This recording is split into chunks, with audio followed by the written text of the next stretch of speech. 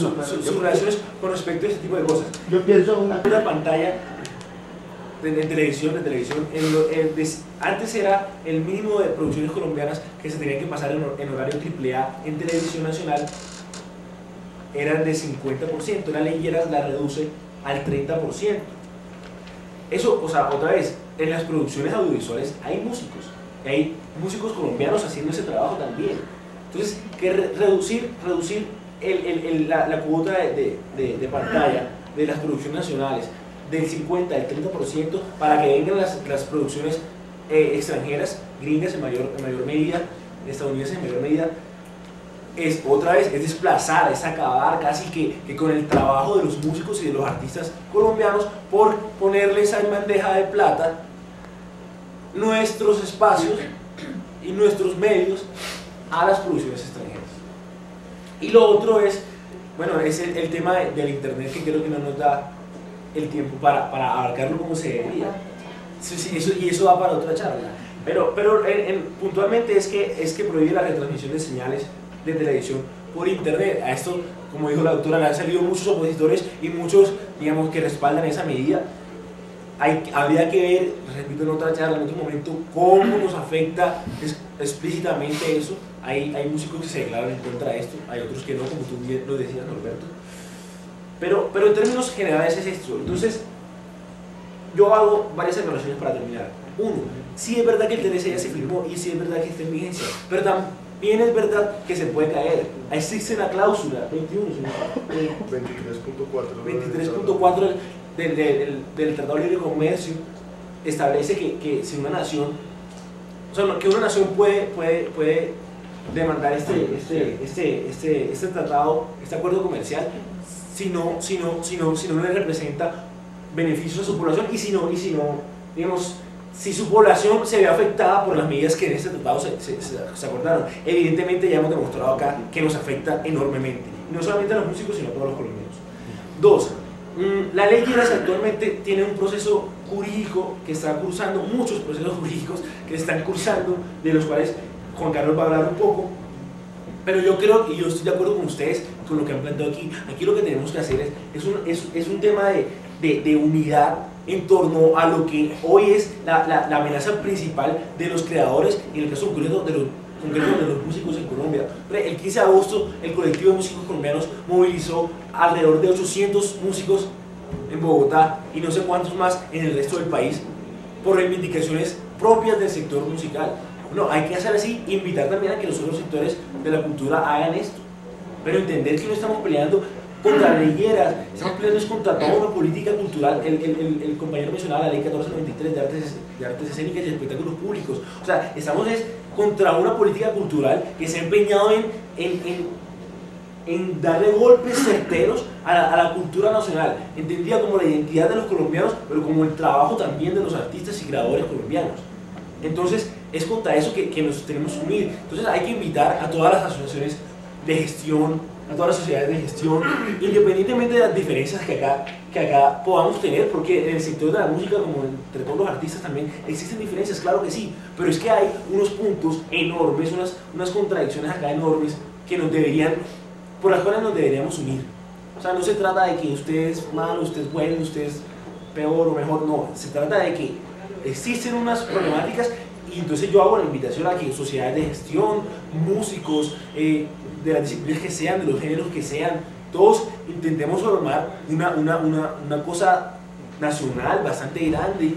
Si quiere empezamos por, por local, a nivel distrital, pero, pero es empezar a eso, empezar a organizarnos, pero también a movilizarnos. Miren, yo hago parte de la MANE, de la Mesa Amplia Nacional de Estudiantes.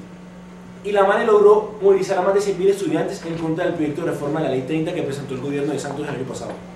Miren, yo les puedo asegurar, todos los estudiantes podríamos saber que la, reforma de la ley 30 era mala. Pero si no salíamos a la calle a movilizarnos, a decirle que era mala, el gobierno no la iba a retirar. Lo mismo pasó con la reforma de la justicia, lo mismo pasó con los transportadores, lo mismo ha venido pasando al gobierno de Santos en más de cinco temas que han intentado reformar con políticas nefastas. Es hora también de que los músicos, los artistas nos hagamos sentir, no estamos peleando por otra cosa, sino por nuestro trabajo y por la cultura y la identidad nacional. Es de eso lo que estamos hablando. Lo que decía, aportar a ver cómo construimos una, una, industria musical, una industria audiovisual, una industria eh, editorial. Es, es, es, de eso lo que se trata para preservar la cultura nacional, que en últimas es casi que lo que, lo, lo que dice. Y aquí el doctor lo manifestaba, la idea es que se creen federaciones de todas las manifestaciones artísticas para eh, eh, propender a formar es una confederación artística, donde no lo hagamos de esa manera, no nos van a escuchar. Una golondrina no hace verano. Lo otro que quiero comentarle, cuando ustedes decían de los contratos de 80 años, que son las, las editoras, eh, es más, con Sony tengo 25 canciones que firmé, a veces por la ignorancia uno, y mi padre y todo el mundo firmó de esa manera, 80 años, más ah, contaba a partir de la muerte, ¿cierto?, del compositor. Me gustaría que leyeran del proyecto ley, el proyecto no de la ley, el decreto ley 3492, 3942 del 2010, en el cual en el artículo 7475, y me gustaría, mi doctora Lucero, que lo, lo leyera, porque no sé si puede ser mala interpretación, donde dice que las editoras no pueden firmar contratos más de tres años. Me gustaría que se leyera esa parte y donde también manifiestan que no pueden de ninguna manera cobrar sobre la, eh, la, publicación, las canciones eh, puestas al público. Eh, estudiando y pertenezco a la Organización Colombiana de Estudiantes y al Observatorio Nacional Permanente de Administración de Justicia, que es... Yo quisiera empezar terminando pues, con lo que decía un poco de con una frase de un senador, el senador Jorge Enrique Robledo, que demandó esta, que demandó esta ley ya aprobada, el proyecto de ley 201, y, que resume un poco lo que hablaba de Vitica. Entonces, Robledo en una intervención que hizo en el, en el Congreso, eh, cuando esta ley estaba debatiendo, dijo que el libre comercio no es libre y no es solo comercio.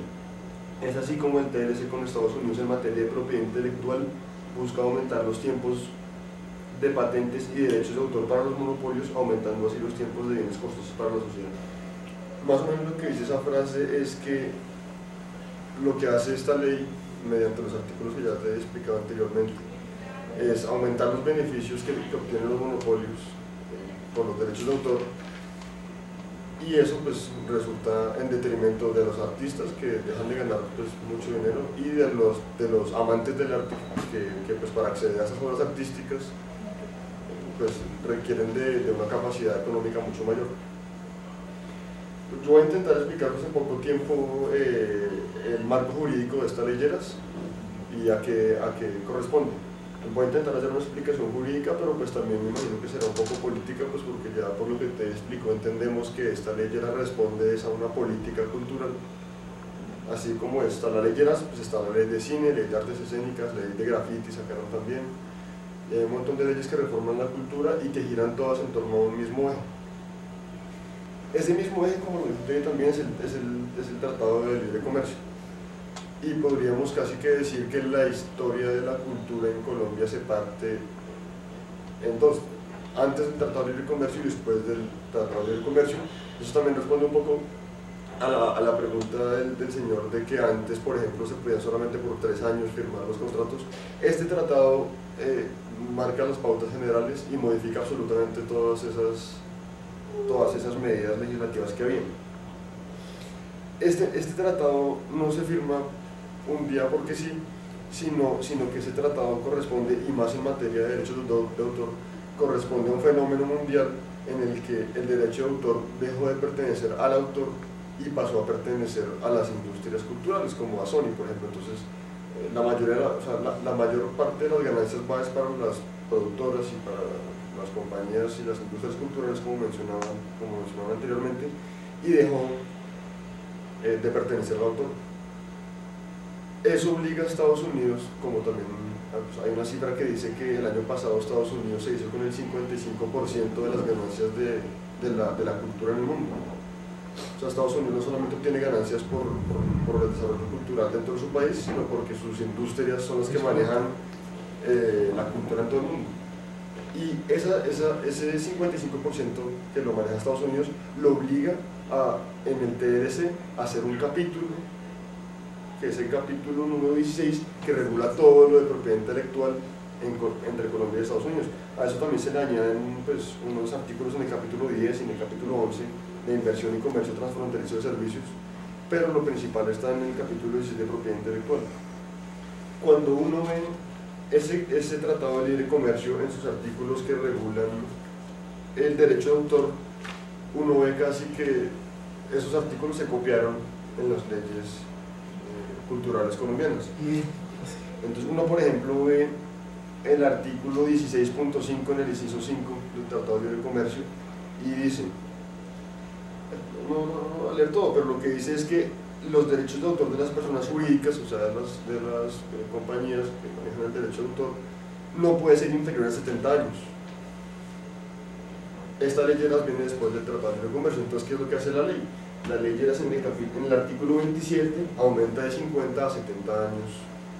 Eh, eh, pues los, derechos que tienen las, compañías por los derechos de autor, pues casi que es como calcar lo que dice el tratado a, la ley.